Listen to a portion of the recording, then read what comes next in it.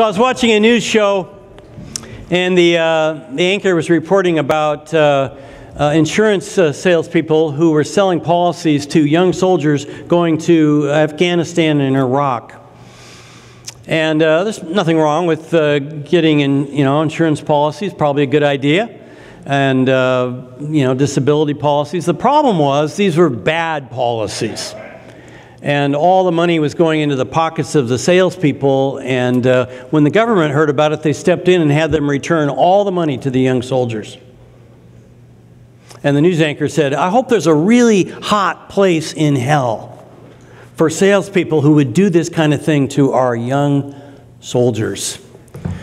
You know, dishonesty in business, lying, cheating in schools, falsifying reports are all really big problems today. The U.S. Treasury estimates it loses billions of dollars every year from false reporting on income tax returns. Amy Coet Nelson, in her article, You Can't Handle the Truth, writes that 93% of respondents report one or more kind of dishonesty toward people at work or school. 96% report lying or committing other dishonest acts towards those close to them, in their family. 90% of people looking for a date online lie on their profile. You know, maybe you're not a believer. So a person who claimed to be a Christian lied to you, maybe in business, and you vowed that you would never have anything to do with Christians again. This is the sixth in a series of messages called Things I Wish Jesus Never Said. And today, Jesus takes on this whole matter of lying and telling the truth. In Matthew 5 33 to 37, he gives his exposition on the ninth commandment you shall not give false testimony against your neighbor. As Jesus does with all the commandments, he simplifies it and turns it into a grand positive. He turns the focus from lying to telling the truth. The religious leaders of Jesus' day had become fascinated with the technical details of the law so they could find loopholes to get out of obeying them. For example, in the fourth commandment, remember the Sabbath? Teachers asked, Can you eat an egg that had been laid on the Sabbath? Since the hen worked on the Sabbath, they said, No, you can't eat that egg. Uh, if an animal gave birth to a foal on the Sabbath and it fell into the ditch, could you pick it up? The Essenes said, No, that would be work. The Pharisees were too humane for that. They said, Yeah, you could, you could pick it up. But they had all these uh, debates about what we one could do on the Sabbath. Uh, Jesus got into big trouble with the religious leaders because he refused to get technical about matters of the law. Uh, so, in the Sermon on the Mount, Jesus takes on all these technical interpretations of the law. Now, to understand Jesus' teaching, you need to know uh, that our Lord loves to use extreme hyperbole. He overstates his points. So in Matthew 19, he says, It is easier for a camel to go through the eye of a needle than for a rich man to enter into the kingdom of God. This is a blow to the disciples because they thought rich people were blessed by God, and if rich people can't get into heaven, then who can? Uh, the first command Jesus takes on in the Sermon on the Mount is murder. This one is clear cut, gives you a lot of comfort you say, you know, I've done a lot of bad things, but I've never murdered. I'm not a murderer. So you feel pretty good about yourself. Until Jesus gets done with you and says, if you get angry with someone, call somebody a fool, you've committed murder. He gives the law its full meaning. Next, he takes on adultery. He says that people that are married made a commitment and should stick with that commitment. They should have eyes only for their mate. They need to put all their energies into pursuing their mate. Then he uses extreme hyperbole. He says, if your eye causes you to sin, gouge it out and throw it away. Doesn't want us to literally gouge out our eyes. He just makes the point that marriage is so important and sexual intimacy within marriage is so good that we must live as if we have no eyes to look at another person with impurity. Now Jesus takes on the ninth commandment in truth telling. In Numbers 30, verse 2, God says, When a man makes a vow to the Lord, or takes an oath to obligate himself by a pledge, he must not break his word, but must do everything he said. In Deuteronomy 23, God says, If you make a vow to the Lord your God, do not be slow to pay it, for the Lord your God will certainly demand it of you, and you will be guilty of sin.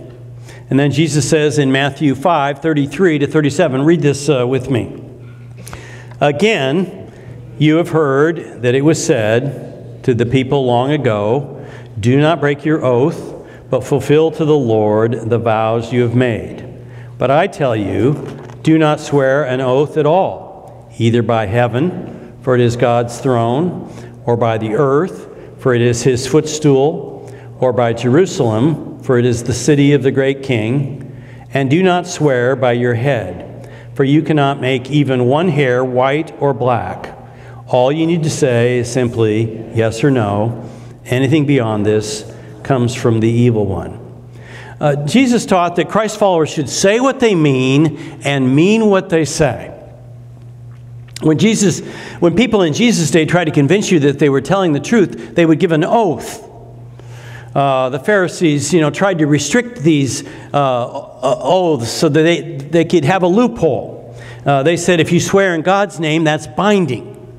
But if you swear by heaven or by earth or Jerusalem or the temple or gold on the altar, it was not binding. See, they're very clever. Um, so Jesus talks to them in Matthew 23. Read this with me. Woe to you, blind guides! You say, if anyone swears by the temple, it means nothing. But anyone who swears by the gold of the temple is bound by that oath. You blind fools! Which is greater, the gold or the temple that makes the gold sacred? You also say,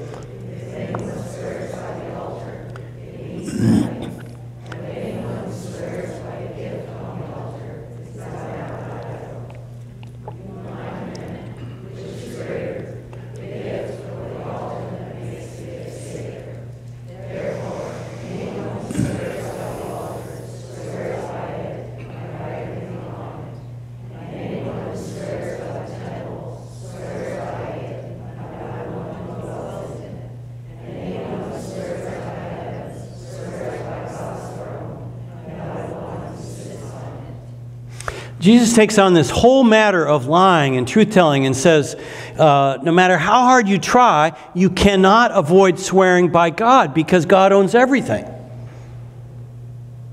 So don't make oaths at all.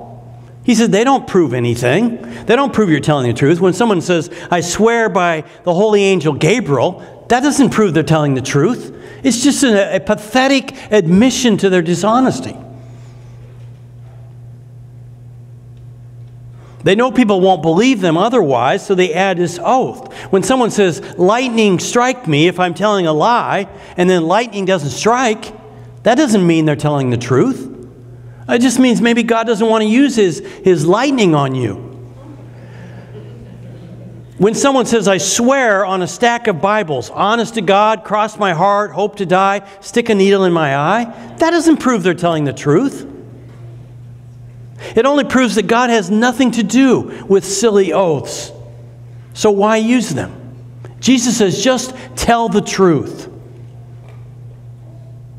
If you're honest, you won't need to swear by anything. People will believe you. So, what's the cure for lying? Jesus says simply say yes or no. He says, don't swear on a stack of Bibles, just tell the truth. So, how can we learn to tell the truth? Let me suggest four ways. First, know that lying cuts us off from God. The Bible says that God is truth. That means dishonesty is contrary to who God is. The writer of Ecclesiastes says, When you make a vow to God, do not delay to fulfill it. He has no pleasure in fools. Fulfill your vow. It is better not to make a vow than to make one and not fulfill it. When we make a promise, God says, You keep it because he takes vows seriously. And our, our whole culture has started down a slippery slope of not telling the truth. Uh, did you know that for the first 200 years of our nation's uh, history, let's say from 1675 to 1900, most of our public and private schools, uh, K through university level, were uh, based on the Bible. Our young people were once try, taught to read the Bible as their primary text for learning how to read. Uh, the early settlers of New England, for example, helped their sons and daughters memorize the alphabet, and, and uh, uh, 23 out of the 26 letters of the alphabet were based on a Bible verse or a Bible concept. Uh, and, and then they had a, a, a poem. This was in the uh, New England Primer, first textbook ever published on American soil. And uh, they would learn these letters of the alphabet uh, through these poems. Let me, let me read you one. Uh, Good children must fear God all day, love Christ alway, parents obey, in secret pray, no false things say, mind little play, by no sin stray, make no delay in doing good. Now, they had a, uh, another segment, Alphabets of Lessons for Youth, in other words, for teenagers. And uh, they were taught to uh, grow in their reading uh, by a list of aphorisms to engage their memory. And these were all based on the Bible. I'll just read you a few of them. A, for you know the letter A, a wise son makes a glad father, but a foolish son is the heaviness of his mother. B, better is a little with the fear of the Lord than great wealth with turmoil. C, come unto Christ, all you that labor and are heavy laden, and he will give you rest. Uh, e, except a man be born again, he cannot see the kingdom of God. Uh, K, keep your heart with all diligence, for out of it are the issues of life. Well, you get the point. I'm not going to read through the whole alphabet. But uh, um, when viewed through our secular paradigm of education, it's staggering to think that our forefathers learned to read on the Bible. Gasp. And uh, that uh, the Bible was their textbook. Double gasp. Uh, the primer was used clear into the 20th century. That means our, our many of the leaders uh, of this country before us grew up on the scriptures. Now, that has been progressively taken away from our schools today, so the point I'm trying to make is that we've moved a long way from when we were taught to tell the truth as part of our core curriculum. 100 to 200 years ago, all students were taught a good name is more desirable than great riches. To be esteemed is better than silver or gold. We were taught that telling the truth is more important than getting ahead financially. We need to get back to this because lying cuts us off from God. Second, remember that lying alienates us from people. Apostle Paul wrote, Put off falsehood and speak truthfully to your neighbor, for we are all members of one body. We're supposed to be so truthful that people can take what we say to the bank. Lies do great damage to relationships. Uh, they cause mistrust. Lies destroy families a young boy was uh, being mischievous and he cut down a tree in their family's yard. When the father got home from work, he said to his son, Did you cut down that tree? And he says, No. Well, dad was pretty sure he did. So he told him the story about George Washington. You know that. Cut down a cherry tree, and because he told the truth to his father, he didn't get punished. So the father asked him again, Did you cut down that tree? He says, I cannot tell a lie, father. I did. Well, father thanked him for being honest and he didn't punish him. Well, a couple days later, the boy was being mischievous again, and he came out in the backyard and saw uh, an outhouse they had there, and, and he, it was on the top of a hill. He pushed it over, it went down the hill, and ended up on its roof. Hour or so later, his dad grabbed him by the arm and says, Did you push over that outhouse? He says, Father, I cannot tell a lie. I did. His father gave him a spanking like never before. He said, Father, what happened to the George Washington thing? Tell the truth, you don't get punished. He says, Well, when George Washington cut down that tree, I'm pretty sure his father wasn't in it.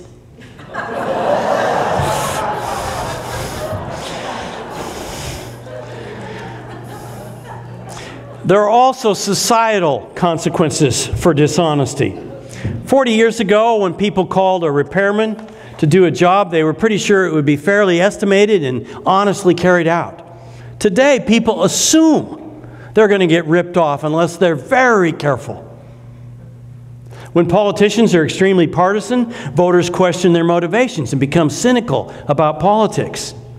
When people feel like they can't trust anybody, we get a world where it's like everybody for himself. Dishonesty cuts us off from each other. Why does lying cut us off from people? It's because lying violates our basic design. Some people say that when we break God's commandments, He punishes us. In reality, God doesn't punish anyone. We punish ourselves when we break God's commands. And God doesn't have to lift a finger. Uh, God enforces this commandment the way He does all the commandments through the law of the harvest. Paul tells us, Do not be deceived. God cannot be mocked. A man reaps what he sows. If you're a liar and you do that regularly, you will suffer the consequences of your falsehoods. You will eventually lose all your friends. Once people catch on that you don't tell the truth, they'll drop you as a friend. How can you be friends with, uh, with someone who lies to you? I mean, you can look people in the eye and swear on a stack of Bibles, but they still won't believe you. Um, you say, Well, I don't worry about being lied to by somebody. I can look at somebody and size them up, and I can tell whether they're telling me the truth. But there are people today who are so accustomed to lying, they can look you in the eye and lie through their teeth. You know, you confront them about having an affair, they'll look you in the eye and say, Me? Having an affair? Who do you think I am? What kind of person do you think I am? And by the time they're done, you're feeling bad that you confronted them. And then a couple weeks later, you learn that they were having an affair and they've been having it for months. They're so seasoned at lying that they can look you in the eye and you can't tell. But once you catch that they don't tell you the truth, uh, you won't trust them again. You see, we don't really break the law, the law breaks us. The law describes the basic design for all humanity. Uh, in the Sermon on the Mount, Jesus describes the way we function best. We function best when we get rid of anger and bitterness. And uh, we, we function best when we live monogamously and, and save sexual intimacy between one man and one woman in a marriage. We function best when we tell the truth. If you don't live this way, you'll suffer the consequences of breaking your basic design. You'll be miserable. So, parents, it's so important that you teach your children not to lie. If a kid says, Well, nobody ever taught me, I didn't know it was wrong, that won't save them anyway. It can't protect them. They still will suffer the consequences of lying because they're breaking God's grand design. So, Jesus' point is that Christ followers should say what they mean and mean what they say. Still, a third way that can help us tell the truth is make yourself ask forgiveness each time you lie. If you've told a lie, don't look for some way to rationalize it. It wasn't that bad. Or to work it through so you, you know, you don't have to admit that you lied. Every time the Holy Spirit convicts you that you lied, then go back to the person you lied to and say, you know what, I'm sorry. What I told you is not true. Would you forgive me?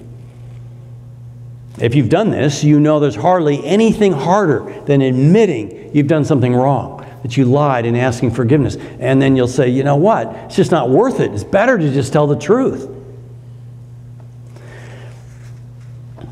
So, moms and dads, confront dis- dishonesty when you discover it in your children. Don't let a lie slip by, it's no big deal. The sooner we disrupt the pattern, the easier it'll be to break. The sooner our kids learn that every time they lie, they're going to have to admit it and ask forgiveness, the sooner they'll break the habit. Confession may not curb the whole problem, but it'll take us a long way in the right direction. The IRS received the following note from a man Enclosed, you will find a check for $250. I cheated on my income tax return last year and have not been able to sleep since. If I still have trouble sleeping, I will send you the rest. I mean, it seems laughable that a person would go just far enough to get their sleep to return, but not make a clean break. But if we make ourselves ask forgiveness every time, we'll find it so painful to do, it's a lot easier just to tell the truth. And fourth, enjoy the rewards of telling the truth. Although most of the commandments are stated in the negative, each one has a grand positive. You don't fulfill this commandment by, of, just by avoiding lying, but by telling the truth. Jesus says, all you need to say is yes or no. Let whatever you say be so truthful that people can believe you. When people learn that you tell the truth and they can trust you, you'll be rewarded many times over. To telling the truth brings its own reward. You feel in line with God. You feel good about yourself. And people trust you. You have good relationships. I've told nearly all of our nine kids at some time or another if you learn to tell the truth, it'll pay off big time. Suppose one of my kids was hiking in uh, Eagle Creek Trail the day the, the fire started this fall. And uh, everybody's standing around at the base and and the police are, you know, are interrogating people, and somebody says, I saw him, pointing to one of my kids. He was up there. I think he started the fire. So I take you aside and I say, I'm only going to ask you this once. Did you start that fire? You say, No, Dad. But I know who did. So I come back to the police and I say, You've got the wrong guy. He didn't do it. But he knows who did. There's a huge reward if your mother or father can trust you to always tell them the truth. When you say something, you won't need to swear on a stack of Bibles or cross your heart, hope to die, because people will know you tell the truth. Parents, it's so important that you tell the truth. If your kids hear you telling a lie over the phone or to somebody at the door, they picked up on that, that that's the way to live. Teenagers, the time to learn to tell the truth is while you're young. Young singles, telling the truth may seem like you're going cross grain with the rest of culture, but that is the way to live. Young marrieds, it's so important that you learn to tell the truth to your mate. You can always trust each other. Empty nesters. You want to stay strong in your prime of life. Tell the truth. All of you, if you've committed your life to Jesus Christ, the Holy Spirit comes in, and the Holy Spirit will convict you every time you tell a lie. Christ followers should say what they mean and mean what they say. You say, I don't know if I can do this. Well, you know what? You're right. You can't. You're poor in spirit. You have to ask Jesus to help you tell the truth minute by minute through the day. Lord Jesus, thank you for your teaching here. And we confess that we are prone to lie, to say things that aren't true or exaggerate. Forgive us. Help us to tell the truth. Help us to depend on you to help us tell the truth.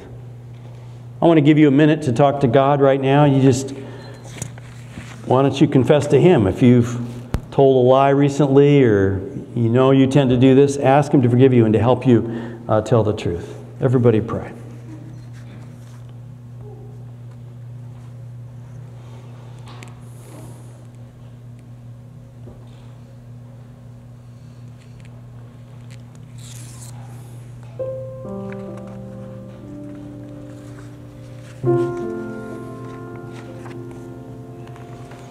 Lord Jesus, thank you for uh, speaking to us through your word that is always true. uh, help us to tell the truth. Maybe there's a lot of lying going on in our world, but if it starts with us, maybe it can build. In Jesus' name we pray. Amen.